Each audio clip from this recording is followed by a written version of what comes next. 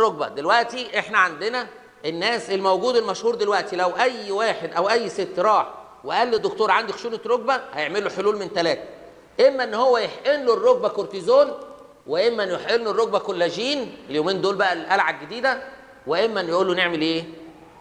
نغير مفصل. ده العلاج اللي عندنا. طب هل المفصل ممكن يرجع يشتغل طبيعي أحسن من الأول؟ آه والله العظيم. اقسم بجلال الله وعزته وجلالته المفصل يرجع يتكون تاني حتى لو المريض عنده 90 سنة. أنا جاني مرضى رجليهم مقوسة وبقى لهم 10 12 سنة قاعدين على السرير.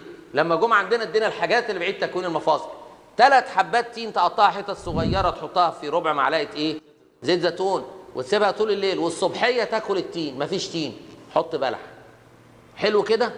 أدي واحد اتنين. عندنا سم نحل يمين الركبة وشمال الركبة تحت الجلد. ثلاثة بدلكها بإيه؟ بزيت. أي زيت؟ أربعة لفها بصوف من غير صوف مفيش علاج للمفصل.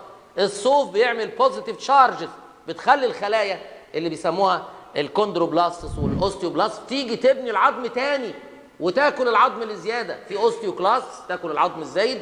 و osteoblast تعمل إيه؟ تبني العظم اللي ناقص. شهر اتنين تلاتة اعمل لي أشعة على الركبتين. ده سليمة تمام.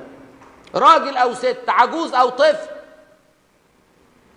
فمهم جدا جدا. الدكاترة بتقول للناس خلاص المفصل باظ. يا نغيره يا نحقنه لا أنا لا بحقنه ولا بغيره. برجعه يكون تاني.